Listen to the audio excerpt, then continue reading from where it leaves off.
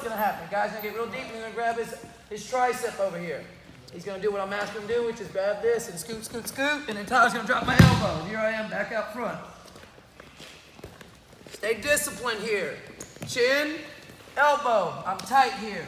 Once I see the angle I want and the ankle I want, short stab at it, lift, keep scooting, scooting, scooting, scooting, scooting. Here I am behind him. All right, Tyler can't scoot with me if I'm on both my feet and I've got one of his ankles elevated. He's got one foot, I've got two, I've got the angle. He's not going to be able to scoot and square up with me. All right? Any questions? Short stab at the ankle,